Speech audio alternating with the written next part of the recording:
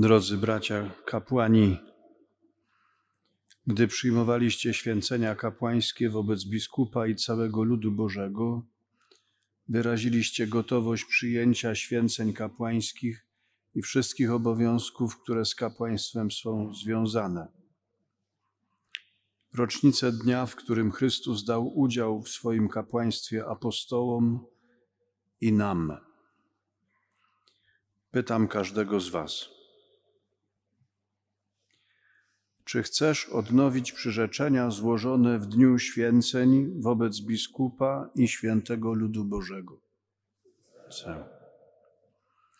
Czy chcesz pilnie i mądrze spełniać posługę słowa, głosząc Ewangelię i wykładając prawdy katolickiej wiary?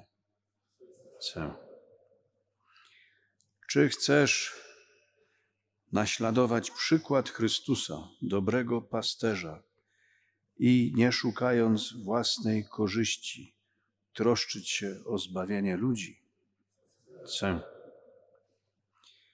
Czy chcesz pobożnie i z wiarą odprawiać misteria Chrystusa na chwałę Boga i dla uświęcenia ludu chrześcijańskiego zgodnie z tradycją Kościoła?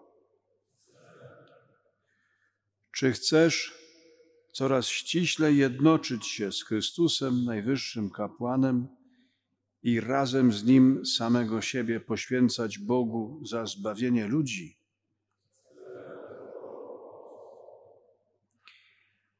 Zwracam się do wszystkich tutaj obecnych i proszę Was, módlcie się za Waszych kapłanów. Niech Bóg hojnie udziela im swoich darów aby jako wierni słudzy Chrystusa, najwyższego kapłana, prowadzili was do Niego, bo On jest źródłem zbawienia.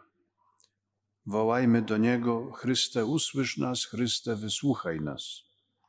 Chryste, usłysz nas, Chryste, wysłuchaj nas.